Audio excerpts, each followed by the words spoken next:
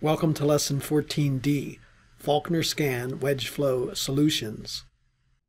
In this lesson, we'll look at several special case solutions of Falkner-Skan wedge flows by varying the Falkner-Skan parameter beta, and then I'll sketch velocity profiles for this family of wedge flows. As a quick summary from the previous lesson, we're talking about boundary layers along this wall where the outer flow velocity field is given as a power law function and angle gamma can be associated with this exponent from potential flow theory as discussed previously. Here's a summary of what Falkner and Skan did back in 1931. They derived this similarity equation with these boundary conditions and these similarity variables. And here's some other equations for the constants. The Falkner-Skan parameter beta determines the type of flow, namely the wedge angle, and thus the power law.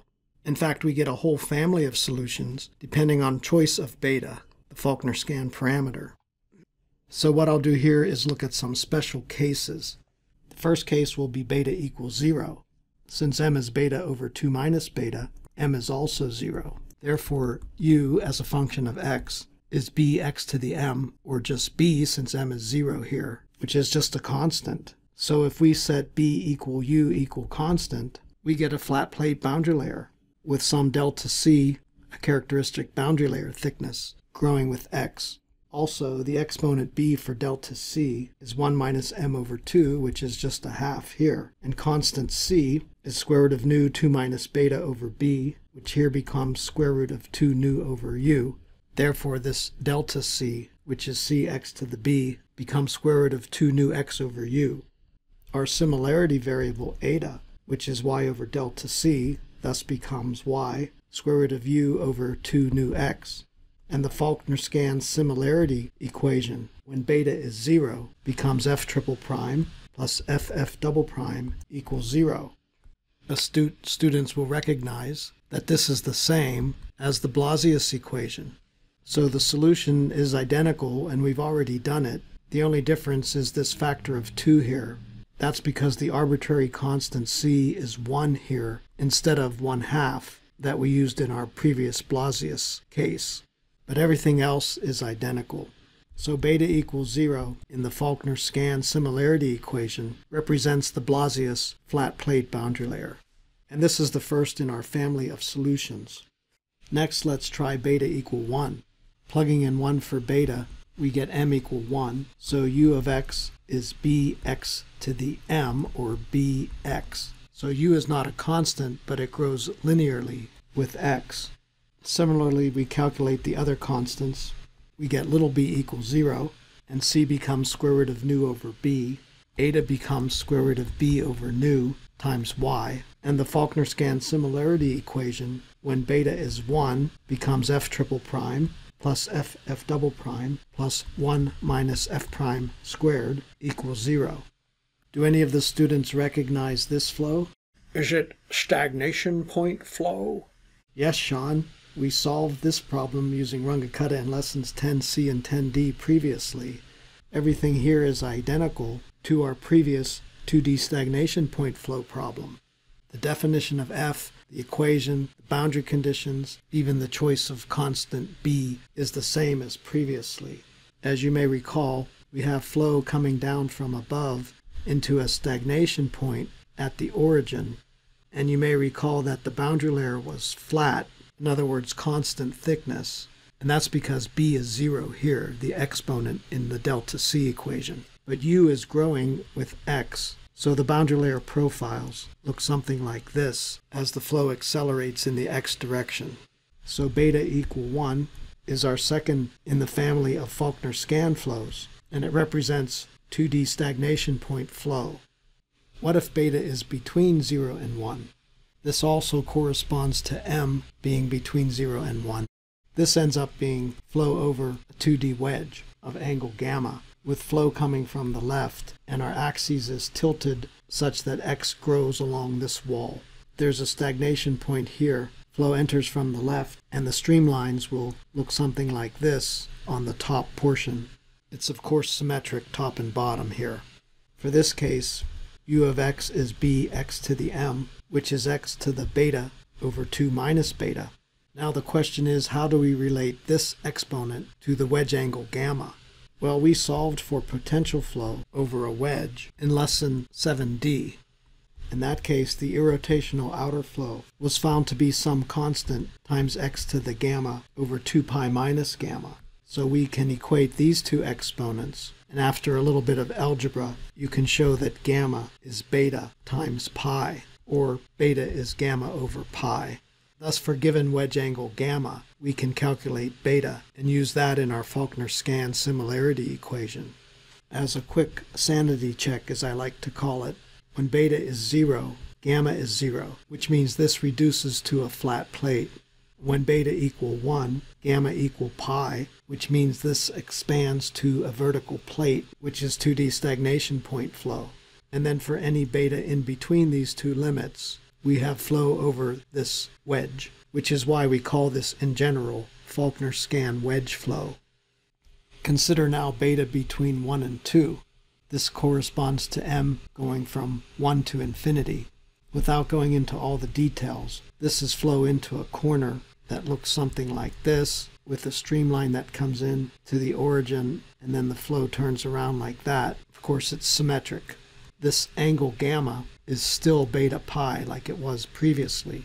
With this exponent beta, the outer flow accelerates rapidly from the stagnation point along x, and we're talking about the boundary layer growing this way. This would be the case with an extremely favorable pressure gradient, since capital U increases rapidly, and therefore pressure decreases rapidly with x. And I should have labeled x along this wall. This is another in our family of Falkner-Skan flows. What about negative beta? Suppose beta goes between negative 2 and 0. It turns out that this corresponds to flow along a wall that suddenly drops downward, and the streamlines move something like that. Again, x is along this wall, and the boundary layer grows along that wall like this. If I continue this horizontal line from upstream, this angle becomes absolute value beta pi over 2 which from our trig class, since these are parallel lines, this angle is also absolute value beta pi over 2. This is thus flow over an expansion corner of angle absolute value beta pi over 2. And unlike our other cases where the origin was a stagnation point, there is a singularity at this origin where capital U is infinity. In this case, ux decreases with increasing x, since we have a negative exponent on x. So this is the case of decelerating outer flow, with u going down and pressure going up. So this family of Falkner-Skan flows represents flows with an adverse pressure gradient. Velocity profiles here will have an inflection point, as we discussed previously for adverse pressure gradient flows. In fact, if you start with beta equals zero for the flat plate case, and then start making beta be larger in the negative direction, you reach a point where this adverse pressure gradient becomes too steep and we get a separating flow. It turns out that this happens when beta is negative 0.198838 to be precise, which represents an angle of about 18 degrees. This corresponds to the separating boundary layer profile. I'll just comment here that we can generate solutions of the Falkner-Skan similarity equation for any beta using our Runge-Kutta code. Note that for each case, you must guess f double prime of 0, like we did for the Blasius case, and iterate until you can satisfy the outer flow boundary layer at infinity, which is typically around eta equal 5 or so. Finally, let's sketch the family of Falkner-Skan solutions depending on the choice of beta, as we've been discussing. I usually leave this as a homework problem for the students, so I'll just do some hand sketches here where we'll plot similarity variable f prime as a function of eta, and eta goes to about 5. Let's start with a high value of beta where all of these profiles asymptote to 1 since u equal capital U at the edge. This would be the case where beta is between 1 and 2. Beta equal 1 is the 2D stagnation point flow. When beta is between 0 and 1, we have our wedge flow with a favorable pressure gradient. when beta is exactly zero. This is, of course, the Blasius case, and the profile is linear near the wall, unlike these other curved cases, although I didn't sketch it very well. When beta goes negative, for example, when beta is about negative 0.1, we have an adverse pressure gradient case. And finally, when beta is negative 0.198838, we have the separating profile with a zero slope at the wall. We can keep going and plot profiles for other betas like negative 0.25. But as we've discussed before, this is unphysical since the boundary layer equations break down beyond the separation point and you have reverse flow, destroying the parabolic nature of the boundary layer equations. Well, this is the last of these video lessons on graduate fluid mechanics. I hope that you all learned some things. We certainly did, sir, and we appreciate the lessons. Uh, thank you, Sean. I sure learned a lot too. Thanks, Professor. You must be really smart to know all this stuff about fluid mechanics. Uh, you're welcome, Dud. But actually, I assure you that none of this would be possible except that I stand on the shoulders of giants.